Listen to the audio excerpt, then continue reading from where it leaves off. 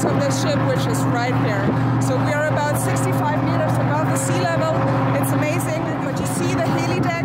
You see actually most of the ship where the where the drill pipes are stored, and then you also see the drill rig. Actually, you can see all the way to the drill rig.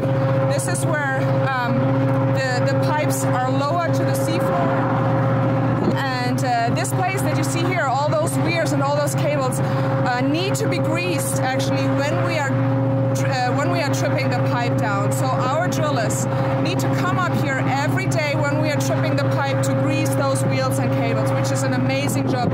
Imagine under windy conditions and wavy seas, these guys come up here um, to do their job, which is amazing.